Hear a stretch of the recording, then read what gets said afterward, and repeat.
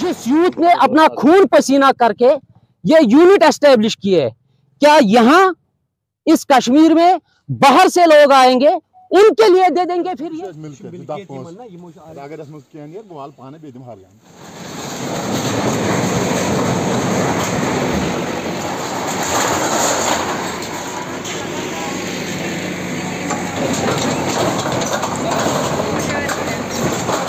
NOCs है हर department से। आज ये बिल्डोजर किस वास्ते आया? क्या करने आया? हम दिन में पोल्यूशन सौ सौ किलोमीटर को क्लियर करते हैं। हम एलजी इंतजामिया से ये बात कहते हैं कि हमें एक मौका दीजिए, चीफ सेक्रेटरी साहब से एक मौका दीजिए हमें। हम आपसे मिलेंगे। पहले तो हमारे लिए दरवाजे ही नहीं है। हम कहाँ जाए, किस दरवाजे पे जाए, हमें अपॉइंटमेंट ही नहीं मिलती है।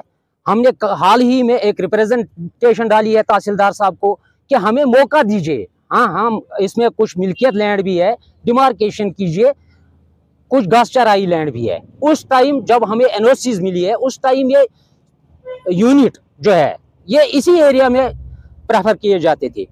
न कि ये मिल्कियत में जाते थे, किसी में इसको एनओसी नहीं मिलती थी।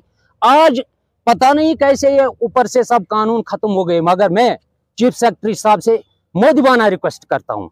हमें एक टाइम दीजिए, अगर आपको ये इंडस्ट्री बहाल रखनी है, अगर बेरोजगारी आपको बढ़ानी है, फिर आइए और बिल्डोजर लगाइए। कोई बात नहीं, हम उसके लिए तैयार है। मगर हम उससे रिक्वेस्ट करते हैं, एक बार एक बार इस यूथ की बात सुनिए। जिस यूथ ने अपना खून पसीना करके ये यूनिट एस्टेब्लिश किए, क्या यहाँ इस कश्मीर में बाहर से लोग आएँगे उनके लिए दे देंगे फिर ये। हमारे यूनिट बने हैं। हमारे साथ एक एक यूनिट के साथ 200 200 कुंबे हैं ना कि नफरी कुंबे है जो इस पे चलते हैं जो चूल्हे इसके जो रोज़गार कमाते हैं। हमारे डेवर्स जो है आज वो रो रहे हैं हमारे ऊपर बिल्डोजर चला है। हम सोते हैं मगर वो नहीं सोते हैं। तो जम्मू श्रीनगर नेशनल हाईवे के सेमथन टॉप देखिए कोकरनाग रोड देखिए वो हमने बनाए हम ही मैगडम ओनर भी है। एयरपोर्ट बनाया हमने डिफेंस का। मगर समझ में नहीं आता है फिर किसकी बात सुनेंगे? हाँ हम रिक्वेस्ट करते हैं एलजी साहब से चीफ सेक्रेटरी साहब से अगर आपको इन पे लीज देना है हमें प्रेफर कीजिए। तब तक हम ऑपरेशन नहीं करेंगे मगर कम से कम हमारी बात तो सुनिए। हमने स्पॉन्सर्ड केस लिया है खादी एंड विलेज बोर्ड से। मैं डॉक्टर हिना भट्ट से रिक्वेस्ट करता हूँ कहाँ गए आपके दावे? आप बेरोजगारी खत्म करने के लिए आई है मगर फिर आज आप, आप सामने क्यों नहीं आती है चीफ सेक्रेटरी साहब से या एलजी मनोज साहब से? उनसे बात करती है कि ये यूनिट जो लगे हैं इनको क्या करेंगे? क्या इनको पहले डिमोलिश करेंगे? ये करूँ मेरे पास इस टाइम दस करोड़ रुपया फाइनेंस है बैंक का। हर एक प्लांट वाले के पास हर एक क्रशर यूनियन के पास फिर हम कहाँ जाए? पहले डिमोलिश करो फिर हम ज़मीन पे आ जाएँगे फिर आप रिहेबिलिटेट करो। पता नहीं वो रिहेबिलिटेट कौन से वाले करने हैं। हमें समझ में नहीं आता है। हमें लीज दीजिए हमें कैसे प्रेफर करना है उसमें हम? जो इसमें रेवेन्यू बढ़ेगा वो आपका हम एक एक महीने में बिजली रेवेन्यू देते हैं दो दो दो दो लाख रुपया। जोलॉजी माइनिंग का एक एक लाख रुपया।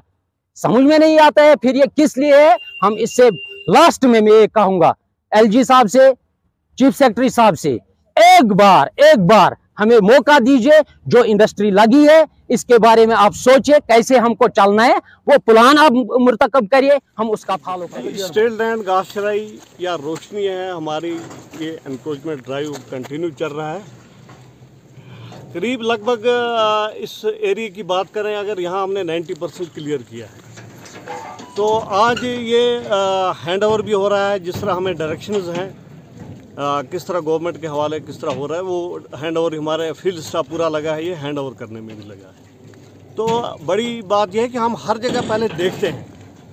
ये देखा जाता है कि आ, आ, हमें हंड्रेड परसेंट ये क्लियर होना चाहिए कि क्लियर करते हैं वही हमें इसमें कोई टाइम नहीं लगा रहे हैं कि आज या कल साथ के साथ हम क्लियर करते हैं कहीं अगर ऑब्जेक्शन आती है तो हम वो क्लियर करके फिर उसका ड्राइव करते हैं। तो अभी आपका टारगेट आप करीब अभी पाँच हैं। पाँच के करीब है जहाँ जिनको मतलब जिसमें से एक ये आर डी को इस आ, ये जो सामने क्रशर है इसमें कुछ मिलकर लैंड आती है।